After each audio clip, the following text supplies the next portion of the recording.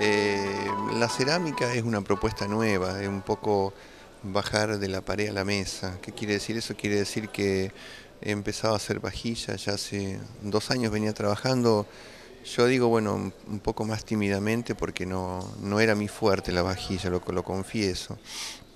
Eh, hay que investigar mucho para no contaminar a la gente, todos los pigmentos, toda la arcilla y todo el cristal es no plomado.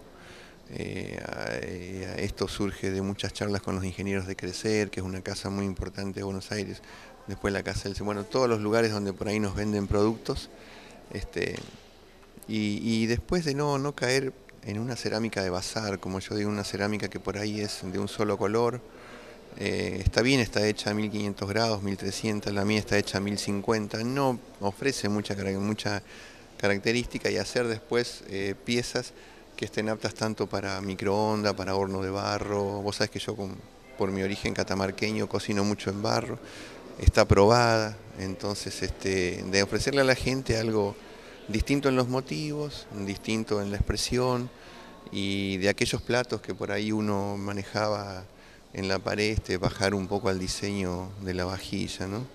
Todos los diseños son, son míos, bueno, con algunas respetando algunas leyes de la simetría, como los trabajos que están colgados, que muchos son bocetos para cerámica.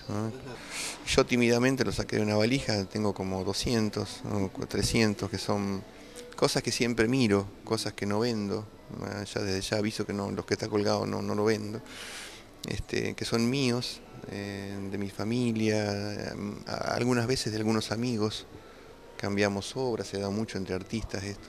Y bueno, la idea de, poner eso colgado es para que la gente de alguna forma este, vea que nada de lo que está en la mesa forma parte de una, este, de una improvisación y que los artistas mm, tratamos de estudiar, de repetir, eso tiene una historia.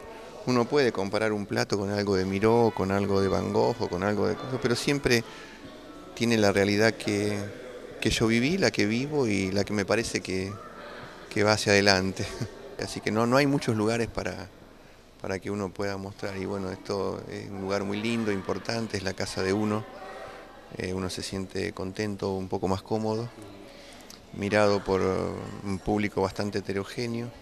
Por ahí mañana los alumnos, pasado los docentes, después el público que visita la universidad, ustedes, el público, la gente no docente. Entonces yo me, confraternizo y me alimento de toda esa gente que es interesante de pronto la, opinión este, y, ver qué, qué piensan.